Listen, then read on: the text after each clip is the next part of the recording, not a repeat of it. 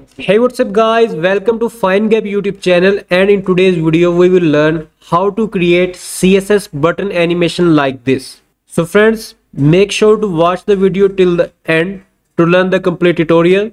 Without any delay let's start.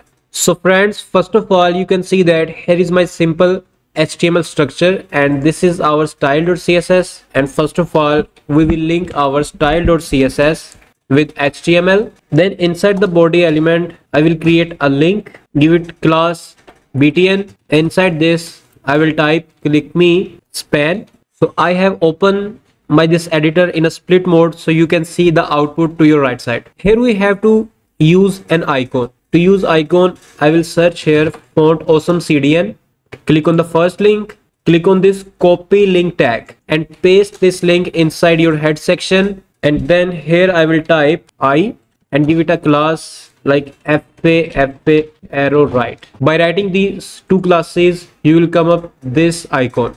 Next open style.css and type here padding 0 margin 0 and box sizing border box. And then copy this body element and paste this element here and then type display flex justify content center align item center and minimum height 100 vh next type here background color this color code.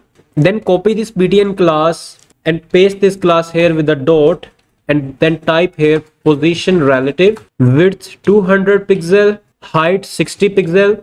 And here you can see that I have zoomed in my web page to 300 percent that's why it is looking big but its original width is 200 pixel and its height is 60 pixel. Next type font size 1.3 em background color rgba and this color code display flex align item center and justify content center. These three properties will make our this word exactly at the center position of the button. Next type here padding left 40 pixel border radius 60 pixel and color copy this color code and paste here and change the opacity from 0.5 1 to 0.5 next transition 0.5 second ease in out border top this color code and border left also this color code. It will make this white border around your button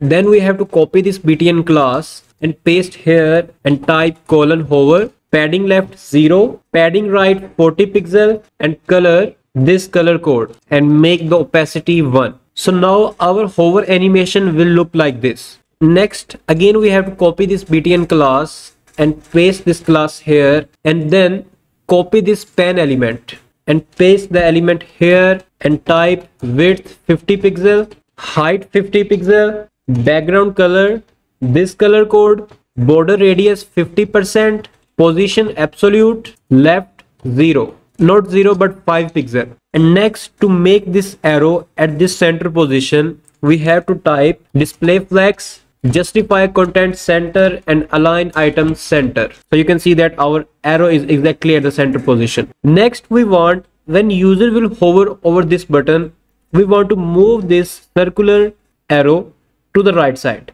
So we have to create an animation for this. To create the animation first of all we have to type here keyframes animation name like move. The starting position of our animation 0% and here I will type left 5 pixel.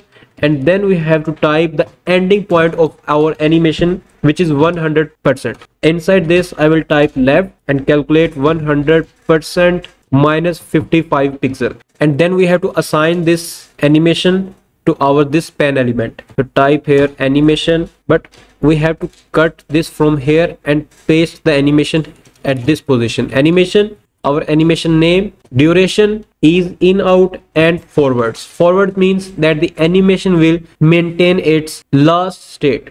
Means left margin will be equal to this.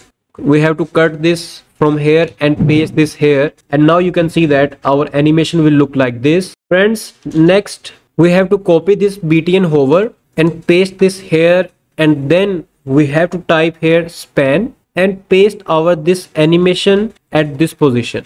And here I'm going to type forwards. So now the animation will look like this.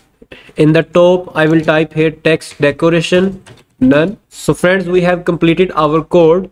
So you can see the output. I hope you must enjoy this video. If you have any question related to this tutorial you can ask us in the comment section we will try to answer your question. And please subscribe to our youtube channel to stay up to date with latest web designing videos. And finally thanks for watching